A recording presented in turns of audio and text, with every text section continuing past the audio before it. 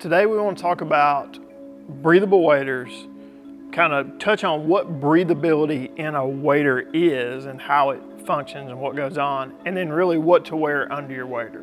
What you're wearing under your wader is really the most important critical thing that kind of goes into uh, breathability as far as, you know, what we talk about and what we say is breathability. So let me clear up and kind of talk about breathability just for a second. So breathability in a wader and what everyone needs to understand, it, it's not really that airflow that you feel on a summer day when you have on a really lightweight shirt or really lightweight garment. You can kind of feel the air moving through it and people say, oh man, this shirt's really breathable.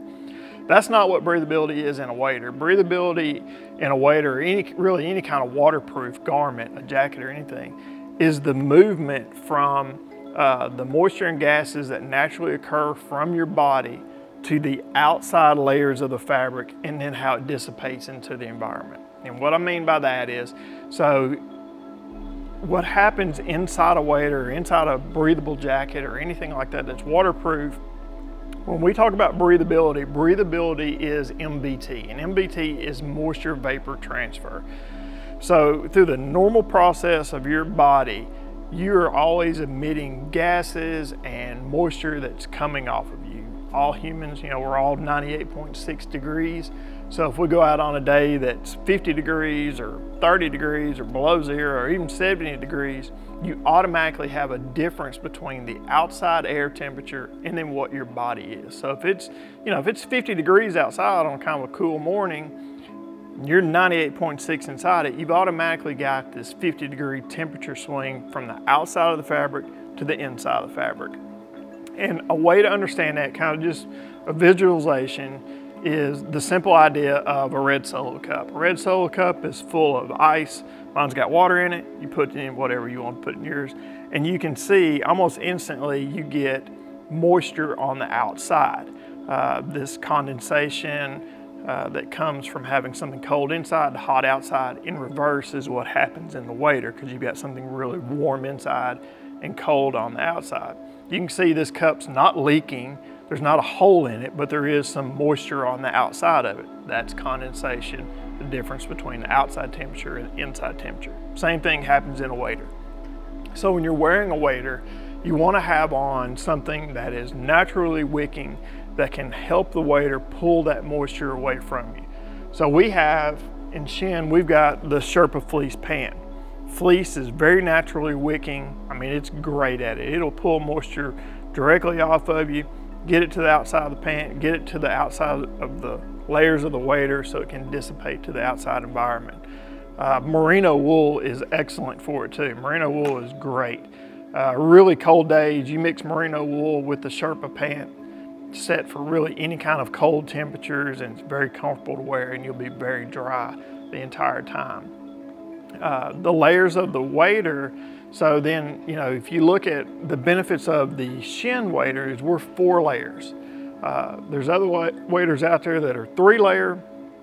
And the negative side to a three layer, which is a benefit to the four layer is, you know, when you go into the water, let's say you start wading in water and you're knee deep or thigh deep or waist deep or even deeper, once you're in that water, the material that is submerged below the surface of the water your breathability gets cut completely out.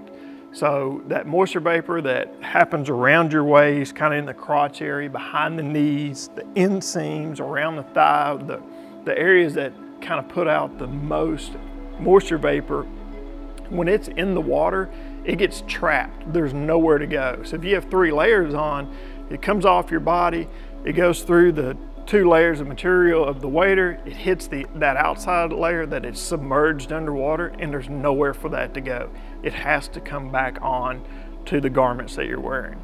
The benefits you get into with a four layer wader like the Chêne wader is you have that extra microporous layer that'll help pull that moisture away from your body, dissipate it up or down the, the fabrics of the wader until it can dissipate into the outside environment. That is pulling that moisture vapor away from you. Um, when it can't pull moisture vapor away from your body, it'll kind of come back on your outside fabric and you'll see these little uh, circles of moisture, usually behind the knee or inside the thigh or crotch or areas like that. And sometimes it'll make you kind of think, well, my later waders are leaking. I have a seeping. You know, seeping doesn't happen in a wader. A hole in a wader, whether it comes from a tear or a separated seam or something happens to it, if you have a hole in that wader, it's like a kitchen sink faucet. Once you turn it on, once you have that hole and water starts coming in, water finds it, it never stops. That's a leak. That's a problem is when water doesn't stop. Uh, if you get out of your waders later in the day and you have like a little circle damp spot behind your knee or in the crotch, generally that's kind of caused by uh, condensation or perspiration, depending on what you have on under it.